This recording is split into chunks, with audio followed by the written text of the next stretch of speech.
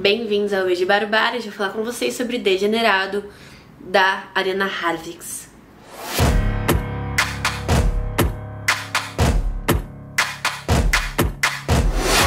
Esse é o último lançamento da autora argentina publicado pela editora Instante.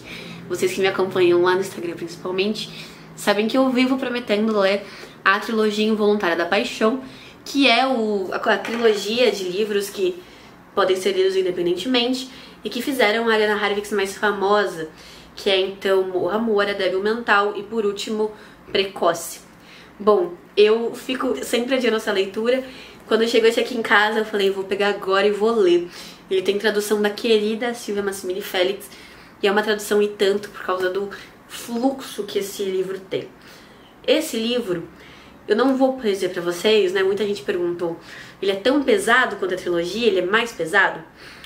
E eu não posso dizer com toda certeza por não ter lido, mas eu vou dizer que eu acho, eu arrisco dizer que ele seja um pouquinho mais pesado. Por quê?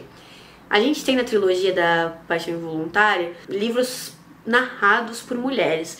E é claro que são mulheres que fogem muito do que a gente conhece na literatura, mas aqui a gente tem um homem narrando uma situação muito complicada. Por que é que ele é um degenerado? Ele diz que ele é um homem de idade, a gente não sabe quantos anos ele tem. Se quando ele diz que ele é velho, ele tem 40, ele tem 60, ele tem 80, a gente não sabe. Tudo que a gente tem acesso é ao fluxo de pensamentos dele, que não é muito linear e que não nos explica muito. A gente é jogado em meio a coisa acontecida e tem que ir catando ali, então, as informações para conseguir construir essa narrativa. Esse homem é acusado de, no dia antes ao Natal, ou seja, uma celebração vista ali como de nascimento, de felicidade, de recriação de novos ciclos, ele é acusado de estuprar e assassinar uma adolescente, ou seja, além dos crimes de assassinato e estupro, tem o crime de pedofilia. Ela tem, se não me engano, ali 14 anos. E a gente tem esse personagem sendo colocado à prova não só de um júri como instituição, mas também do júri popular. A gente tem ele sendo levado, por exemplo, para prisão para aguardar o julgamento encarcerado e ele ouvindo então o que é dito dele no bairro, o que as pessoas acreditam que ele tenha feito, o que elas pensam dele, algumas muito surpresas por essa figura que parecia tão carismática, que era tão simpática, ter feito algo desse tipo, outras dizendo que já tinham visto coisas parecidas, que nunca foram com a cara dele, aquela fofocaiada que a gente conhece de quando a gente tem um bairro ali, um local em que as pessoas se conhecem. O problema é que enquanto a gente vai ouvindo tudo isso, a gente não pode confiar no que é dito por esse narrador. Então, parte do que a gente escuta, a gente pode deduzir que foi dito diretamente para ele, parte talvez ele tenha inferido de certos olhares. Quando ele fala sobre a juíza do caso dele, a gente não sabe se ela está dizendo aquilo no processo, se ela está dizendo isso durante uma audiência. A gente não sabe se é uma projeção dele do que a juíza dirá quando ele vier ao juízo. Então, então é uma narrativa alucinada.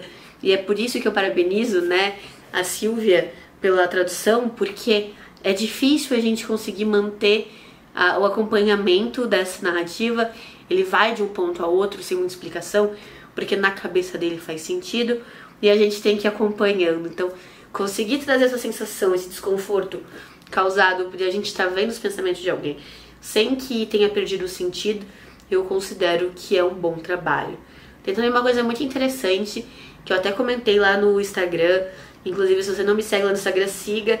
Eu li esse livro logo que ele lançou, consegui publicar a resenha por lá antes de finalizar a pré-venda. Então, quem leu e se interessou conseguiu comprar com desconto.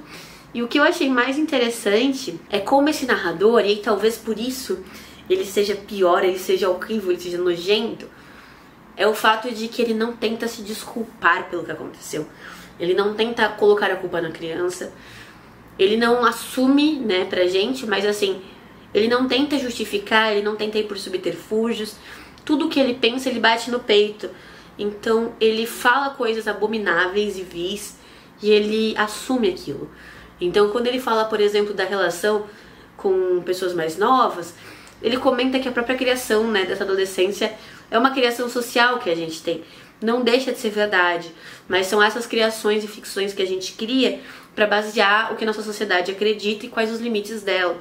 Ele tenta jogar com essa questão intelectual para se desresponsabilizar com relação a esse crime que ele pode ou não ter cometido, mas que a gente não fica sabendo exatamente. A gente acompanha aí até o final e vai colhendo informações para descobrir o que aconteceu. Esse é um livro curtíssimo, eu li de um dia para outro, então eu não quero falar muito dele para não estragar, mas também não queria passar batido por ele, porque é uma literatura que eu acho que muita gente que me segue aqui pode curtir muito. Então, leiam Degenerado da Ariana Harvix. Eu acho que é uma experiência no mínimo interessante. Queria mandar um beijo muito grande para todo mundo que apoia o Beijo Barbari lá no Catarse. Você também pode me apoiar financeiramente a partir de R$ reais mensais. É só entrar no catarse.me barra Barbari. Eu vou deixar o link aqui nos comentários fixados para você dar uma olhadinha. Também queria agradecer a todo mundo que chegou até aqui. Pedir que vocês me ajudem agora gratuitamente clicando no botão de like, que ajuda muito a divulgar o vídeo aqui na plataforma. E quem chegou por aqui, a se inscrever, clicando na bolinha com meu rosto que aparece no final do vídeo ou no inscrever-se em vermelho. É isso, fim dos comunicados, um beijo e até!